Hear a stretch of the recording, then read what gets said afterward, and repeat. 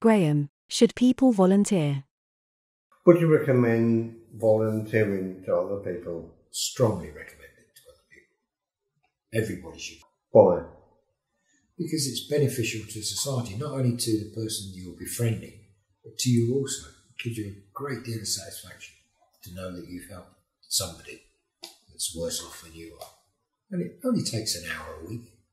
You know, everybody can spend spare an hour. No matter how busy they are, everybody can spare an hour to go and chat to somebody who's completely isolated. Hmm. That sounds like a good idea. Um, but what kind of person would benefit the best? What kind of person would be, would, um, are you looking for? Are you looking for, um, What, to volunteer? say, a, someone who is retired? No. or um, it could be um, someone who um, is al- already involved in the community, Oh. or could it be um, someone who works in the city? Anybody can volunteer. No matter what you do, no matter what age you are, everybody can volunteer. The people, I think the people who would benefit the most would be younger people, to be honest with you. Because then they can see, you know, um, how would I say? Uh, if a younger person was to volunteer, I think they would get the most out of it, a young person. And I think then the client that they are volunteering to help would also get the most out because it shows that the younger, ge- younger generation that can then communicate with the older generation. But there again, a client can be any age from five to 95. Hmm. But The, the, idea, the idea of, of, a co- of the coordinator who, who works all together is to try and match people together. You know, so I mean, take for instance myself, I was in the in the forces for twenty six years. So, you know, when she when when I'm being matched, try to match with somebody who's either been in the forces, who comes from the forces background, or that type of that type of thing. So that you've got something in common initially with, with the person you're befriending. Hmm. But it can be anybody can do it. The more younger people to get involved in volunteering, the better. How do I find a volunteering group? Well, the easiest thing is on a PC, isn't it? You just put volunteering in it and up it chucks it all. But the, the, the ideal people to go to actually is your local authority. Well, I suppose you have to ask, really, is um, volunteering just for Christmas? Uh, no, volunteering is 365 days a year. Because you, you see all the um, the Oh, yeah, I know, I know. and I know what you're saying. You say, see, um, you see all the adverts coming on the television. Give this for this, give that for that, give that, and it gives you the impression the only thing that charities are interested in is Christmas. That's the impression you get. Otherwise, you know, you don't hear from them all the year round. That's why it's best to forget the big charities. Forget them. It's to go to your local authority and they will put you in contact with local organisations that need help.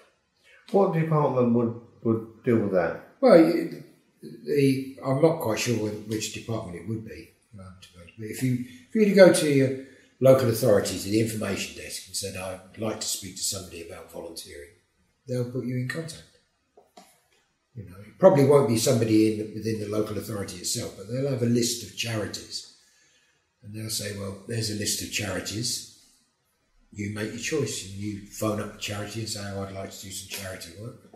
Can I help you?" Or, or and they'll say, "Well, what type?" You know, they might ask you what type of skills you've got. You know, depending on what what their needs are. Hmm. Your first port of call is your local authority. And what if you think that you have um, some skills? I personally don't have uh, many skills, but um, one thing which I'm practicing at the moment interview, interviewing, interviewing you. So we went to a um, Christmas dinner yesterday, and one of the people we were talking to was um, local nurse, Yeah. and I was explaining to her about um, I was making um, some videos, and um, it would be nice to um, video other people with different conditions for them to have a voice. And um, my um,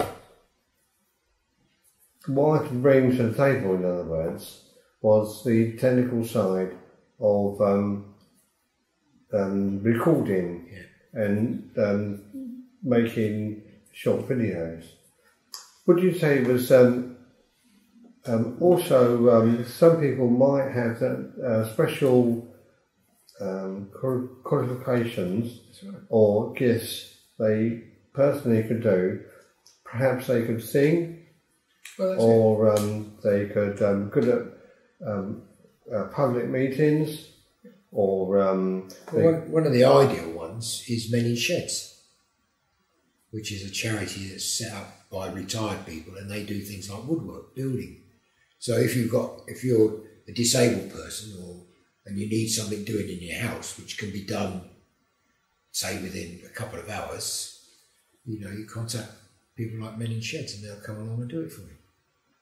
You know, tho- those sort of things. So it doesn't necessarily have to be um, some in, in your life, just meeting people. It could be something which um, could be a retired carpenter. Well, I mean, or, you, um, I mean, you look at another organisation that does a, a lot of uh, charity work is the Citizens Advice Bureau. You know, people who've got financial problems or whatever problems there are, they go to the Citizens Advice Bureau.